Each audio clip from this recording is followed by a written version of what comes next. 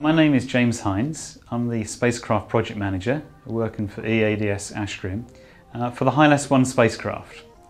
Uh, HYLAS 1 uh, was built and designed by two companies. First of all, uh, Astrium in Europe and also the Indian Space Research Organisation.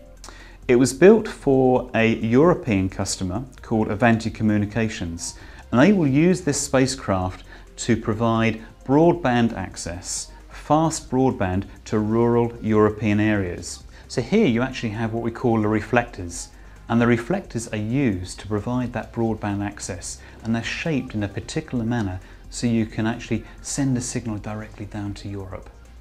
HYLAS, it stands for Highly Adaptable Spacecraft. It gives the operator the ability to change the configuration of the payload in orbit. Behind us we have three engineers who actually went out to India to work on the HYLAS payload and also supported it here in Portsmouth. For Avanti Communications, if they have a particular change in demand, it peaks up in one European area but down in another area, they can actually adapt the spacecraft to accommodate that in real time. There are three panels you typically use on a payload. And this panel behind me just shows the typical complexity of one of those payload panels. Remember, we have three of them on each of our spacecraft. When you actually launch the spacecraft, you obviously want it to be very compact. These array panels would be folded against the spacecraft body during the launch. But as soon as you get onto station, you actually have to deploy these panels so they can start generating the electrical power that you need.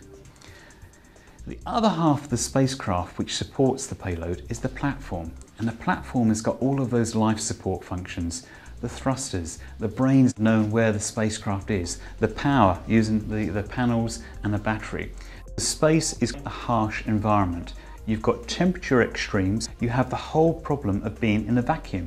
So when we are actually in uh, India, we had to test the whole of the spacecraft vehicle very comprehensively over all of those environments to make sure that when we actually deploy on orbit that we have complete reliability and trust it's going to operate for 15 years which is the mission life of the spacecraft. This is where HYLAS was built and this is where we tested the payload. After the Ariane 5 rocket has launched HYLAS into a transfer orbit, the spacecraft itself then also has to adjust that orbit. So we have the propulsion system on the spacecraft and that's used to actually position the spacecraft in its final orbit and keep it there. It's got various components. You have tanks, this particular one is used to hold the pressurant and then we have various rockets which are here and here. So the work involved in bringing a HYLAS 1 spacecraft together is very interesting. And what makes it all the more interesting is working with a great group of people in many different countries. Today I want to introduce you to one of the key people who's helped bring this spacecraft together. My name is Alan Evans. I was able to work on this programme from Portsmouth all the way through Bangalore and then finally onto the launch campaign in French